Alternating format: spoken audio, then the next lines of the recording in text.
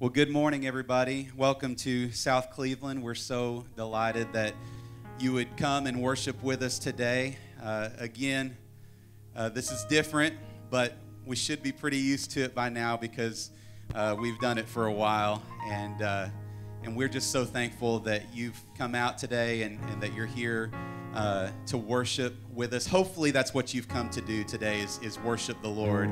Uh, that's what we've come to do. And uh, I want to just open this service uh, in, in, a time of worship as people continue to come in. And uh, we want to invite you just to jump right in with us and sing with us right in your car, right where you're at. Uh, but I want to open with a passage, a familiar passage found in Psalm 34. And it says this I will praise the Lord at all times. Another version says, I will bless the Lord at all times. I will constantly speak his praises. I will boast only in the Lord. Let all who are helpless take heart. Come, let us tell of the Lord's greatness and let us exalt his name together. I prayed to the Lord and he answered me. He freed me from all of my fears. Those who look to him for help will be radiant with joy. No shadow of shame will darken their faces in my desperation, in my desperation, I prayed, and the Lord listened. He saved me from all of my troubles. For the angel of the Lord is a guard, and he surrounds and defends all who fear him. So, this is what we're going to focus on today.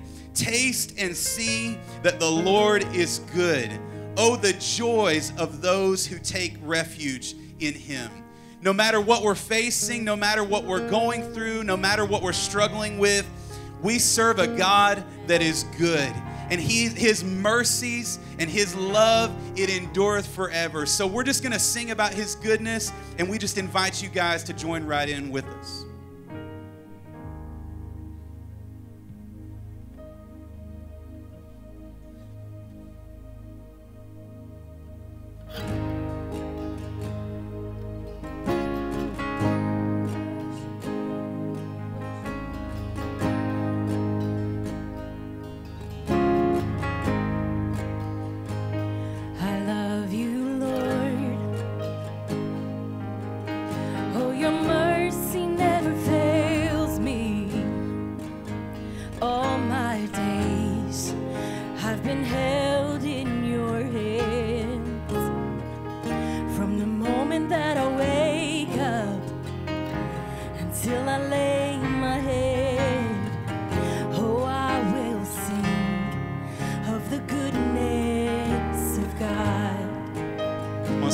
Flores.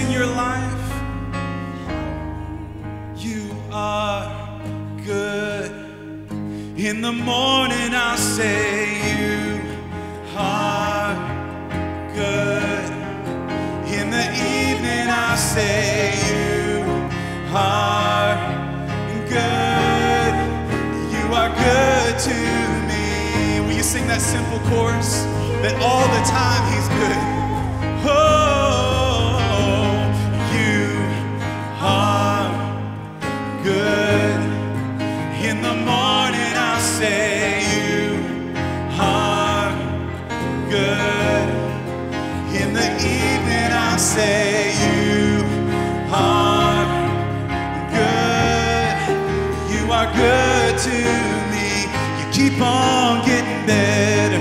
You keep on getting better. The more I get to know you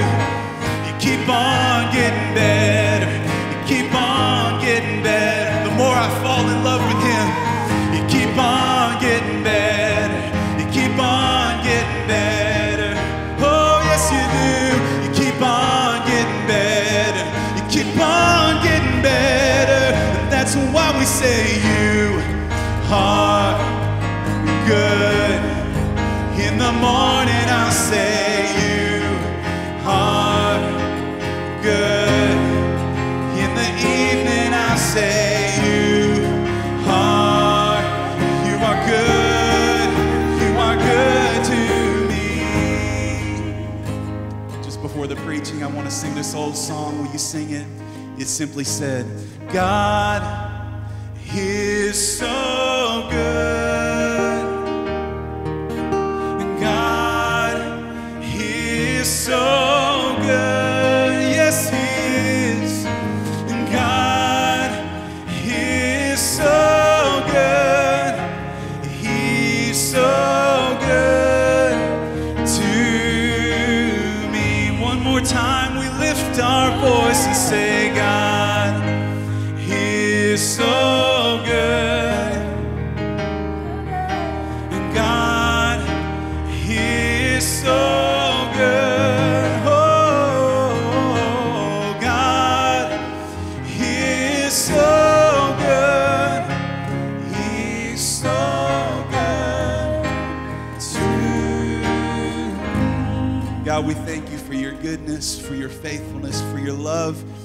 your mercies, for your grace. God, we thank you for who you are. And we thank you that your presence is here because your word says that where two or three are gathered in your name, it doesn't matter if they're in a car or in a church, but you would be there in their midst. And we thank you for your presence that is in this parking lot this morning.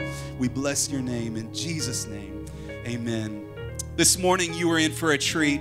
Uh, we are blessed with someone who is not a stranger whatsoever to South Cleveland Church of God.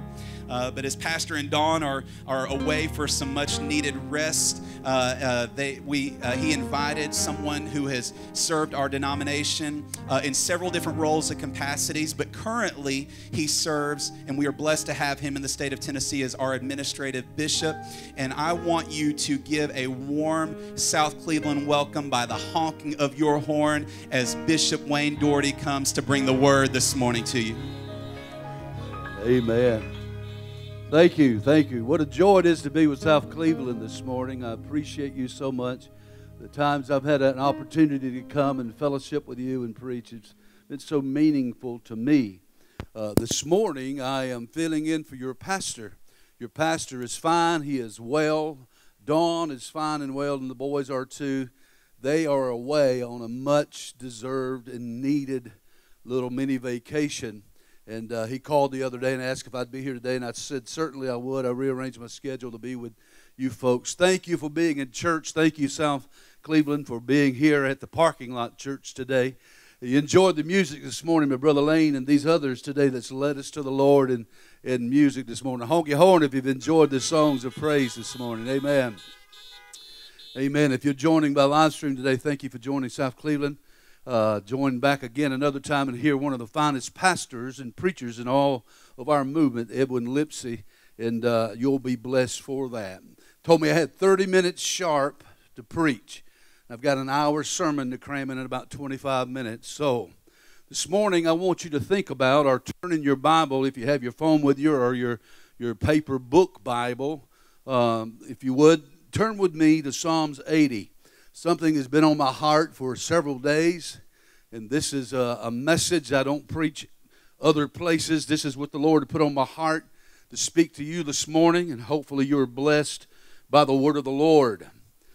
Psalms 80, and normally I would read the entire psalm. That's I'm preaching from the entire psalm through the 19th verse.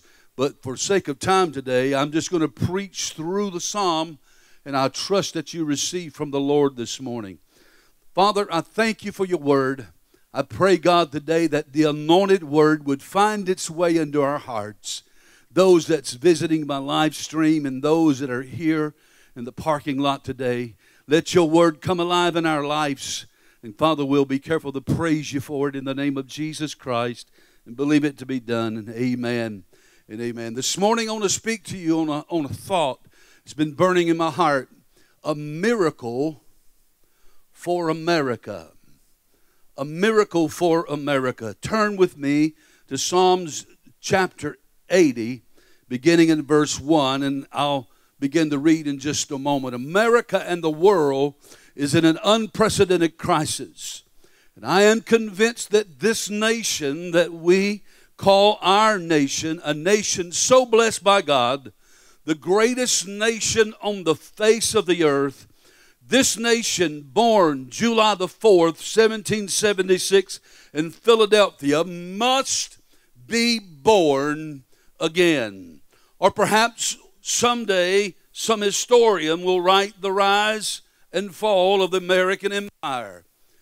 The history of Israel and the history of America are very much alike. And when you read the Psalms, Psalm 80, you're reading about the nation of Israel. But I see parallels throughout the entire chapter of Psalms 80 between Israel and America. Let me point out those parallels this morning to you.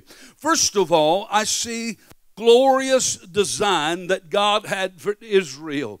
But Israel, like America, had a glorious heritage. Israel, in her time, like America, was the wonder of the world. Psalms 80 was written in a time of national calamity. And if you look with me in verse 1 in Psalms 80, the writer says, Give ear, O shepherd of Israel, thou that leadest Joseph like a flock, thou that dwellest between the cherubims, shine forth, for Ephraim and Benjamin and Manasseh stir up thy strength and come and save us. Turn us again, O God, and cause thy face to shine, and we shall be saved. Turn us again, put us back, O God, like we were. Restore us, Lord, O God, because and cause your face to shine on us. We must confess this morning with a troubled heart that America has forgotten God. She is rolling in her luxuries. She is in her pleasures. Uh, she is reeling in her drunkenness. Uh, she is revolting in her morals. Uh, and she is rotting in her sin. America is perfumed with an aroma of religion and culture. The spiritual formaldehyde that disguises the deadly decay of a society. With all of the unction and emotion of my soul, I contend that we need a miracle for America. If you're trusting in our armaments, you are foolish. The scripture said some trust in horses uh, and some trust in chariots, uh, but we will trust in the name of our Lord God. We need a miracle for America. In Psalms 80, I want you to see how God blessed Israel. And then I want to make an application and show you parallels between Israel and America. There are principles that parallel the discerning eye can see as we look at the Word. First of all, I want you to see that Israel was divinely planted. Look at verse 8 there in Psalms 80. Thou hast brought a vine out of Egypt, and thou hast cast out the heathen and planted it. The vine that he's talking about is Israel. Israel was called God's vine. God Himself put Israel in her land. God Himself gave Israel the land of Canaan. And as well, America has been divinely planted by God Himself. No other nation uh, ever had such a Christian beginning as did the United States of America. Our original colonies were founded because of our Christian faith. Men bowed in prayer as the Mayflower Compact was written beneath the decks of that little ship. The Mayflower Compact began with these words In the name of God, amen. Oh, listen, that's the way they started it. It was the desires of our pilgrim fathers for the glory of God and the advancement of the Christian faith. I have no doubt that North America has prospered so much more than our continent below us in the South, South America, even though greater natural resources uh, can be found in South America. Why, Brother Doherty? I'll tell you, this is what I think. Uh, Those who came to South America shores, uh, they came seeking for gold. But those who came to our shores came seeking God. Our government is rooted in the belief of an Almighty God. The declaration of faith uh, begins this way We hold these truths to be self evident. They didn't quiver over it, they didn't argue about it, they didn't stutter, they didn't stammer, they didn't hesitate. They said, This is self evident. We hold these truths to be self evident that all men are endowed by their Creator with certain and unalienable rights. Uh, in that one statement uh, and sentence, uh, we see that they believed that man was a creation of God. They didn't believe in evolution, they believed a God who created man. They believed a system of absolute morals, certain unalienable rights.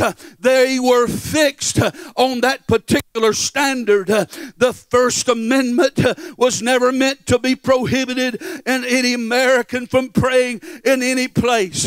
Of those men who wrote the Constitution of the United States, 55 of those men, 30 of them were bold Christians, 20 of them were believing Christians who believed the Bible. Abraham Lincoln, president elect, said, I quote his words this morning without the assistance of the divine being, I cannot succeed. And with that existence, I cannot. Thomas Jefferson wrote these words The God who gave us life uh, gave us liberty at the same time. Revisionist and humanist uh, and secularist and atheist uh, would like to extract God from our American way of life, but it cannot be done because God is written into the very American fabric. This nation was born in the fire of revival. Listen to our national anthem, that national anthem that so many people today are trying to downcast. Listen to the words, the Star Spangled Banner. Our fathers, God to thee, author of liberty To thee we sing. Long may our land be bright with freedom's holy light.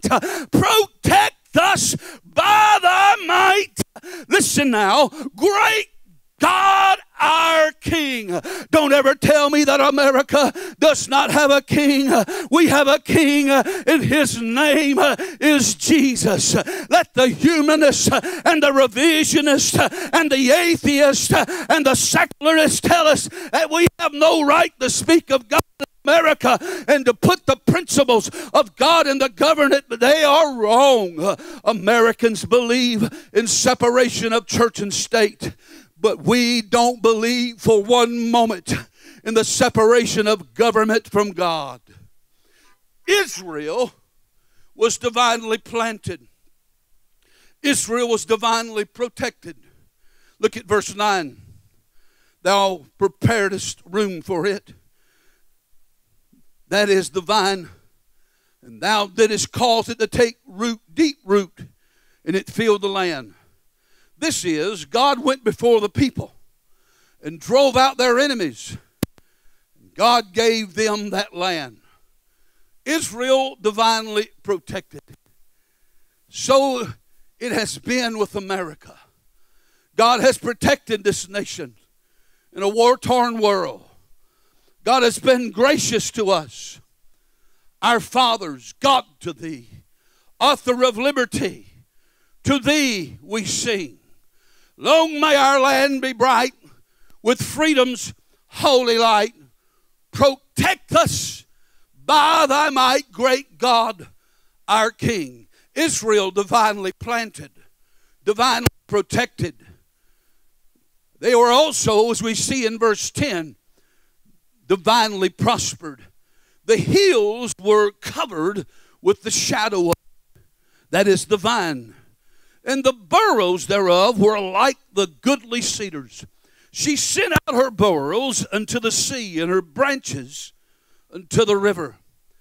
As America has adhered to the principles of God's word, America has prospered as a nation.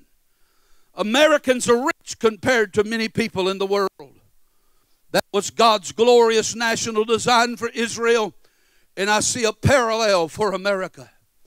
Not only was there a glorious national design, but there was a grave national danger. Look at verse 12.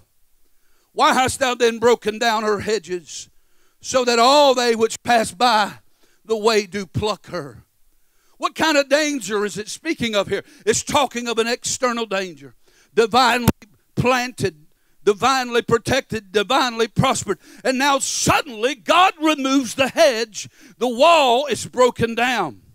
Anyone who comes by can pluck that fruit. We see America being plucked today by her enemies. America seems to be disintegrating right before our eyes. Judgment is upon us. Verse 12 speaks of an eternal or rather an external danger. All they that pass by pluck her. Not only is there an external danger, but there's an internal danger. Look at verse 13. The boar, which means the wild hog, out of the wood with waste it, and the wild beast of the field devour it. There were those internal within her, like wild beasts, wild animals that rooted up the very vine that God had planted. See, God is not content to feed on the fruit. It wants to root down to where the root is in the vine. We're having those in America doing exactly that. Not only an external danger from enemies, but an internal danger of corruption. Our nation is tottering today. We can handle the bin Ladens, the external but internally, America has become so immoral, so corrupt, so vile that God's judgment is pending on our nation. We've had more opportunities, more blessings, more preaching, more gospel than any other nation, yet have more policemen per capita than any other nation. We have more crime per capita than any other nation. Like a broken sewer being poured out over America, the vile and filth of Hollywood is unbelievable. Crime and immorality, the break of the home, uh, and the total disregard of the things of God. If you don't believe what I'm saying, then you're deaf and you're blind. Pick up a newspaper and see what's become the norm in our nation. There's a tidal wave across America of crookedness uh, and lying uh, and cheating and stealing and murder. Lust and drugs, wild hogs uh, are rooting up the vine. Not only is there an external danger, and not only is there an internal danger, hear me this morning, Cleveland, there's an eternal danger. Look at verse 14. Return, we beseech thee, O God of hosts. Look down from heaven, and behold, and visit this vine, and the vineyard which thy right hand hath planted, and the branch that thou madest strong for thyself, it is burned with fire.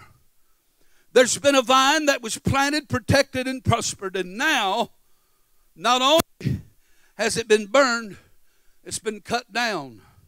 Verse 16, look at that. They perish at the rebuke of thy countenance. Enemies around, enemies within. But hear me this morning, hear me with my heart. There's a great enemy above. Eternal danger from God.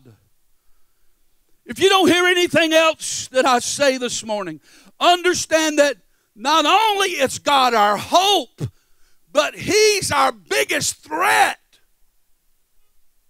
What do you mean, Brother Darty? Look what the scripture says the fire of God's judgment and the fire to burn the vine. God's judgment is like an axe and it's a fire. The waters of God's wrath are pounding against the, against the dam of His mercy. It's neat time in America. It's time that America repents.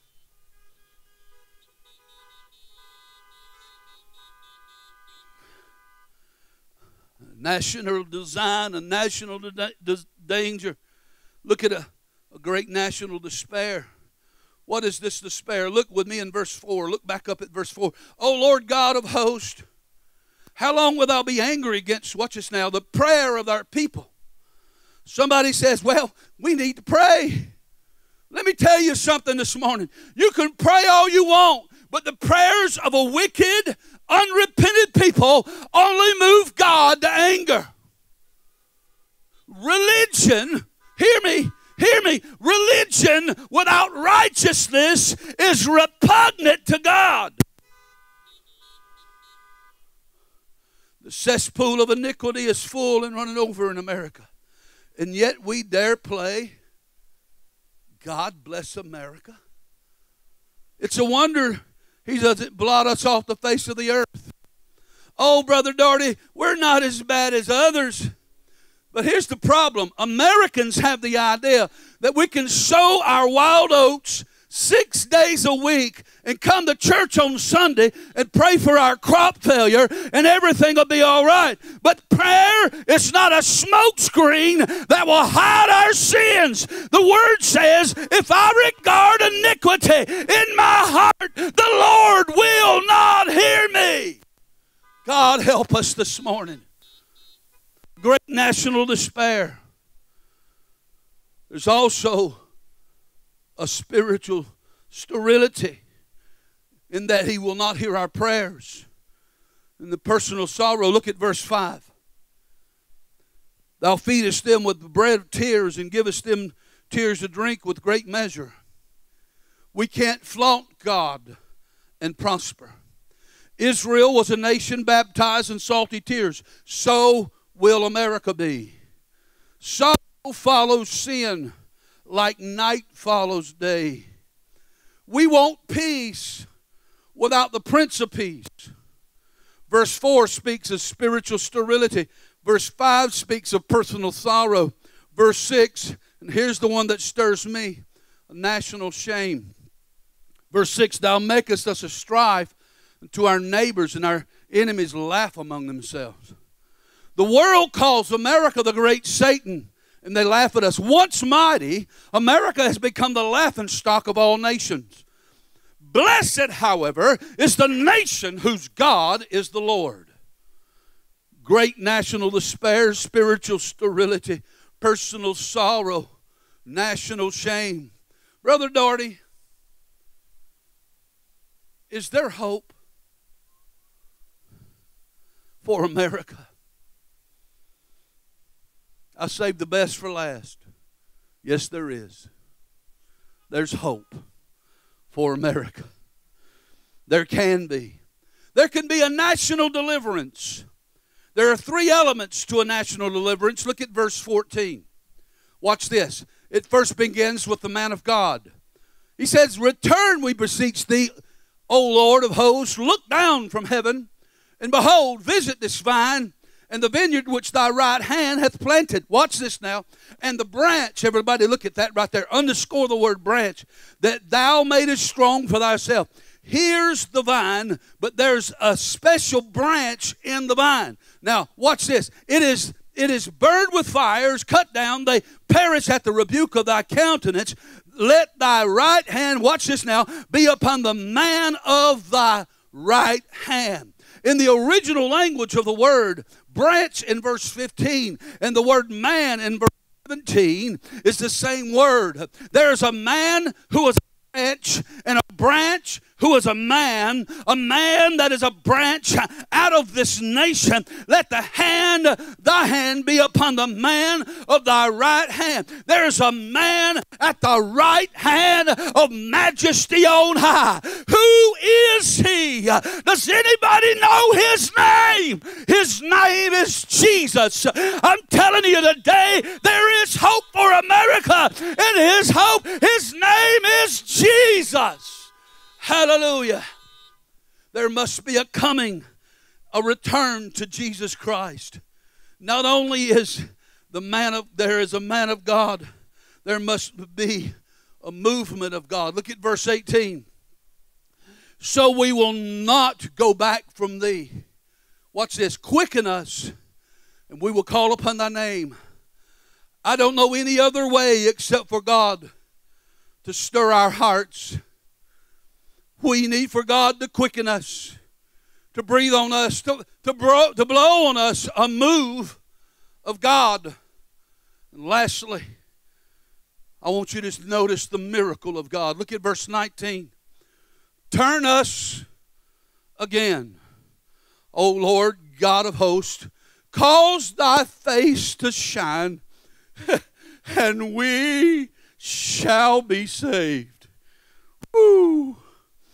When we enthrone God, when we implore the movement of God, we will see in America the miracle of God. God wants to bless. God wants to send revival. But what must we do? What is our part? I'll close with this today. First of all, we must look up. There's only one who can save us. His name is not Donald Trump. His name is not Joe Biden. He does not have his headquarters in the Pentagon. We must look up to God. Not only must we look up, we must fess up. We must get on our face before God. Is there any unfessed sin in your life today? You're watching by live stream. Perhaps you may be here nearby in the service here this morning. Is there any unconfessed sin in your life? Don't talk about what others ought to do. We need to fess up. Not only must we look up and fess up, we must speak up. We need to speak up in the name of Jesus. Satan's strategy is to keep good men silent in evil times. We need to stand up for what is right. But, Brother Doherty, there's so few of us and there's so many of them. Listen, God always hears the prayers of a righteous remnant. We don't need more people, we need better people. Castro, think about it, he took Cuba with a band of 80 cutthroats. Lenin began his communist revolution with only a few thousand in 1917. Romania removed Ceausescu from power by the church gathering in the streets of Timisoara. Jesus began the mightiest movement the world has ever known with only 12 disciples. I like what Joshua said. Joshua 23 and 10. One man of you shall chase a thousand, for the Lord your God, it is he who fighteth for you as he promised you. I'm only one. You may say, Brother Doherty, I'm only one. That's so little.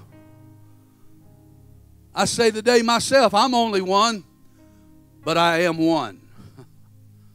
I can't do everything, but I can do something. What I can do, I ought to do. And what I can't do, God will do. Will you say that this morning? Will you be one today that say, I'm not waiting on anybody else. I'll be the one God can count on. Listen to me.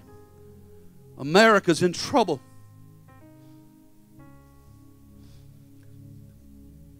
What the world needs, what America needs, what Cleveland, Tennessee needs, what South Cleveland Church of God needs, what you need is a league with the Lord, an alliance with the Almighty, a peace conference with the Prince of Peace.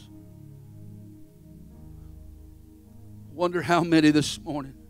That say, Brother Doherty, I know if I died right now, I'd go straight to heaven because of what Jesus has done for me. If you couldn't say that, today's the right day for you to become that one. Become a difference maker by letting Jesus making a difference in your life. I want you to be saved today. I want you to come to the Lord. I want you to count for Him. For God committeth His love toward us in that while we were yet sinners, Christ died for us. Father, thank you for your word. We see the parallel of Psalms 80 between Israel and America. Yes, Lord, it's horrible what we're witnessing today in our country. But Lord, I'm praying for national revival. I'm praying, God, for a visitation from heaven in every home, beginning in the homes of these that are here, these are listening from live stream, homes around this city, homes throughout the state of Tennessee, and across this great country. Send revival in Jesus' name. God bless you for being in church today, even though it's parking lot church, it's just as well. If you enjoyed the word of the Lord this morning, give God praise by honking your horn. Thank you for joining my live stream today. God bless you. I say to all of you, pray for your pastor and his wife that they be refreshed and come back home ready to go as they've always been. God bless you for being in the house of God today. Thank you so much for hearing God's word. Be blessed this week.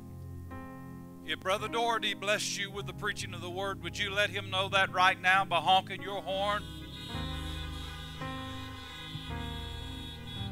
Thank you so much for coming. Thank you, South Cleveland, for your faithfulness. At the, the gates going out, we have ushers there to help you to continue to give and support your church. God bless you. As Brother Doherty said, please pray for Pastor and Don as they take a few days to rest and get away. They needed that, but they'll be back this week. Pray for them. Have a wonderful week. South Cleveland, we love you. God bless you.